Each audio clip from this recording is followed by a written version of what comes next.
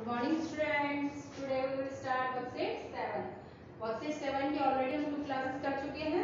ये हमारी third class है ओके आज हमारी वर्कशीट 7 कंप्लीट हो जाएगी और आज हम स्टार्ट कर रहे हैं क्वेश्चन नंबर 8 से इससे पहले हम क्वेश्चन नंबर 7 तक कर चुके हैं है ना आपने लर्न भी कर लिए होंगे आज हम वर्कशीट नंबर 7 का क्वेश्चन नंबर 8 कर रहे हैं चलिए स्टार्ट करते हैं क्वेश्चन नंबर एट है why are the rivers of southern plateau seasonal इसका मतलब है कि जो सदर्न प्लेट्यू की नदियाँ है रिवर्स मींस नदियाँ होती है वो सीजनल क्यों है क्यों कहा जाता है उनको सीजनल तो आंसर है because all these rivers are rain fed and not snow fed मतलब जो यहाँ की प्लेटू रीजन की सारी नदियाँ हैं वो बारिश के पानी से भरती है न कि बर्फ़ के पानी से, है ना? तो बारिश के पानी से भरेगी तो सीजनल होगी, क्योंकि जब मौसम कैसा रहेगा, बरसात वाला मौसम रहेगा तो नदियाँ कैसे होगी? पूरी भरी हुई होगी, लेकिन जब गर्मी का मौसम आएगा तो क्या हो जाएगी? वो सूख जाएगी। लेकिन जो स्नो फेड वाली रिवर्स होती है, उसमें साल भर पानी रहता है। जैसे कि गंगा, यमुना, ये कैसी नदियाँ स्नो फेड वाली है। मतलब बर्फ़, जो बर्फ़ पिघलती है, उससे बनती है वो, गंगा वहाँ से आती है, हिमालय लेकिन जो ये नदियाँ हैं सदर्न प्लेट्यू वाली, ये नदियाँ कैसी होती है? सीजनल सीजनल मतलब सीज़न में इसमें पानी रहता है और दूसरे सीज़न में सूख जाती है गर्मी में, बरसात में खूब पानी भर जाता है इसमें, इसलिए इसको सीजनल बोलते हैं। समझ में आ गया? क्यों बोलते हैं? क्योंकि ये रेन फेड होती है मतलब बारिश के पानी से भरती है और ये स्नो फेड नहीं होती, इसलिए इसको सीजनल बोलते हैं। ओके समझ में आ गया वो क्वेश्चन एक बार फिर से बोल देती हूँ। Why are the rivers of southern plateau seasonal मतलब जो सदर्न प्लेट्यू की नदियाँ होती है सदर्न प्लेट्यू मतलब नीचे वाली नदियाँ, साउथ वाली, वो सीजनल क्यों होती है? तो उनको सीजनल क्यों कहा जाता है? तो क्योंकि बिकॉज़ ऑल दीज रिवर्स क्योंकि वो सारी नदियाँ आर रेन फेड मतलब रेन बारिश के पानी से भरती है एंड नॉट स्नो फेड मतलब वो बारिश के, बर्फ़ के पानी से नहीं भरती। ओके इसलिए उसको क्या बोलते हैं? सीजनल रिवर्स बोलते हैं। नेक्स्ट है नाइन में देखिए where do the western coastal plains lie मतलब जो वेस्टर्न कोस्टल प्लेन्स है वो कहाँ पे पड़ता है लाइन का पढ़ना कहाँ पे किस तरफ़ पड़ता है वो तो the western coastal plains lie between the between मतलब बीच में Western Ghats and the Arabian Sea है ना? कहाँ पे पड़ता है वो क्या बोलना है? देखिए यहाँ पे देख लीजिए, यहाँ पे है वेस्टर्न घाट यहाँ पे है, ये वेस्ट की तरफ़ है, ये वेस्ट है तो वेस्टर्न घाट यहाँ बताया था मैंने आपको अरेबियन सी ये। तो इन दोनों के बीच में क्या पड़ता है?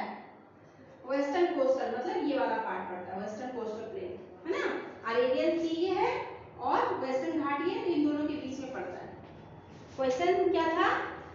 Where do the western coastal plains lie मतलब वेस्टर्न कोस्टल प्लेन्स कहाँ पे पड़ता है तो आंसर क्या है the western coastal plains lie between मतलब बीच में the Western Ghat Western Ghat ये वाला है एंड द अरेबियन सी और अरेबियन सी ये इन दोनों के बीच में ये वेस्टर्न कोस्टल प्लेन्स है ओके समझ में आ गया पढ़ाया मैंने आप लोगों को बहुत अच्छे से अगर आपने पढ़ा होगा तो कोई दिक्कत नहीं आएगी नेक्स्ट है टेन वाला क्वेश्चन देखिए what is the southernmost point of India मतलब इंडिया का जो साउथ वाला सबसे लास्ट वाला पार्ट कौन सा है? आखिरी छोर बोलते हैं जिसको, है ना? What is the southernmost point southern मतलब साउथ की तरफ़। लास्ट पॉइंट कौन सा है? तो आंसर है, इसका आंसर बस इतना है। इंदिरा पॉइंट बस आपको यही एक शब्द याद करना है। बाकी सारा क्वेश्चन अगर इसमें जरा सी भी गलती हो गई तो पूरा आंसर गलत है ठीक है तो क्या करेंगे आप इसकी से एक बार मैंने देखा है बहुत सारे बच्चों ने गलत लिखा है और उसमें पॉसिबल नहीं होता, सबको आंसर देना। तो एक बार फिर से आप लोग चेक कर ले।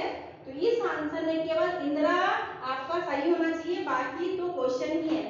इंदिरा पॉइंट बस, ठीक है? तो क्या लिखा है? Indira Point is the southernmost point of India India का सबसे लास्ट वाला पॉइंट कौन सा है? इंदिरा पॉइंट ओके तो बस आपको इंदिरा पॉइंट इतना लर्न करना है, इसके बाद यहाँ से लिखना is the southernmost point of इसमें कुछ है ही नहीं आंसर बंद करने के लिए। तो इतना नहीं कर पाएँगे आप। इंदिरा नाम है, जो इंदिरा गांधी थी ना, उसी के नाम से पढ़ा था इंदिरा। ठीक है? तो बस इंडिया मत लिखना इंदिरा है वो। तो अच्छे से एक बार आप लोग स्पेलिंग चेक कर लें और अच्छे से एक बार फिर से पढ़ लेते हैं जल्दी से why are the rivers of southern plateau seasonal southern plateau की जो नदियाँ वो सीजनल क्यों है तो आंसर है because all these rivers are rain fed and not snow fed मतलब नदियाँ क्योंकि वो सारी नदियाँ कैसी है? रेनफेड है बारिश से बढ़ती है एंड नॉट स्नो फेड मतलब स्नो फेड नहीं है मतलब बर्फ़ से नहीं भरती। ठीक है नाइन है where do the western coastal plains lie western coastal plains कहाँ पे पड़ता है आंसर है the western coastal plains lie between the between मतलब बीच में Western Ghat and the Arabian Sea जो कोस्टल प्लेन से वेस्टर्न कोस्टल प्लेन से कहाँ पे पड़ता है Western Ghat and Arabian Sea के बीच में पड़ता है ठीक है टेन वाला क्वेश्चन है what is the southernmost point of India India का सबसे साउथ वाला पॉइंट कौन सा है तो इसका आंसर है Indira Point is the southernmost point of India ठीक है? बहुत आसान है, कुछ नहीं करना है थोड़ा थोड़ा सा लर्न करना है, बाकी तो क्वेश्चन नहीं है सब। तो आपको ये वर्कशीट आज हमारी कंप्लीट हो चुकी है। सारी वर्कशीट कंप्लीट हो गई है, अब हम मंडे से रिवीजन स्टार्ट करेंगे। ठीक है? तो सारे क्वेश्चन आंसर लर्न कर लें, एक बार स्पेलिंग चेक कर लें, जैसे ये मैंने बताया, है ना? ये सारी स्पेलिंग अरेबियन सी की वेस्टर्न घाट की और जैसे रैंक है ये सब सही होना चाहिए, तभी पूरे मार्क्स मिलेंगे तो चलिए आज के लिए इतना काफ़ी है है ना? इसको कंप्लीट कर लें और अच्छी राइटिंग में लिख लिया है आपने, जिसने नहीं लिखा, फिर से एक बार लिख लें और लाइक कर लें